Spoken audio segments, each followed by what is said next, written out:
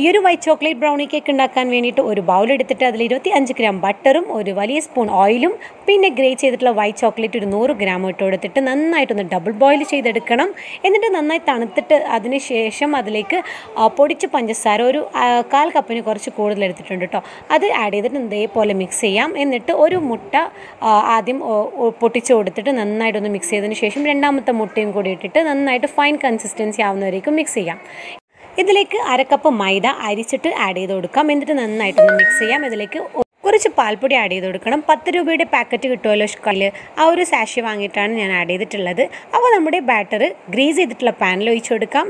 എന്നിട്ടൊരു പത്ത് പതിനഞ്ച് മിനിറ്റേക്കും ഇതേപോലെ ബേക്ക് ചെയ്യാൻ തവയ്ക്ക് അടിയിൽ വെച്ചിട്ട് ബേക്ക് ചെയ്തപ്പോഴേക്കും നമ്മുടെ chocolate brownie white chocolate brownie cake ഇവിടെ റെഡി ആയിട്ടുണ്ട് കേട്ടോ ഇത് കഴിക്കാൻ വേണ്ടിയിട്ടൊരു പ്രത്യേക ടേസ്റ്റാണ്